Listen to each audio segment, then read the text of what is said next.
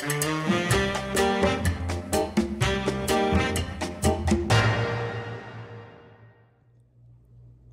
who's home?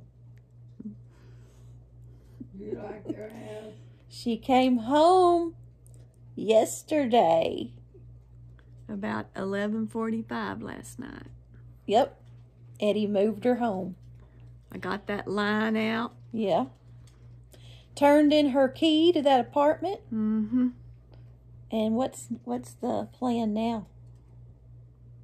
Um, I'm done. She's done.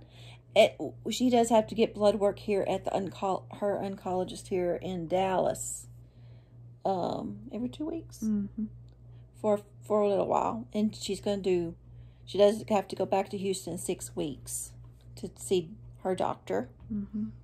But he said all of her tests and her bone marrow biopsy and all of that looked really, really good. Mm-hmm.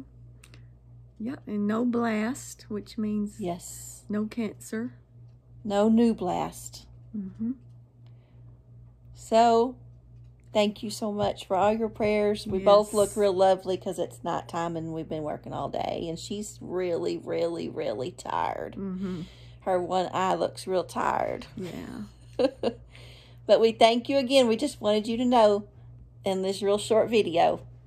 We'll see you next time. Bye.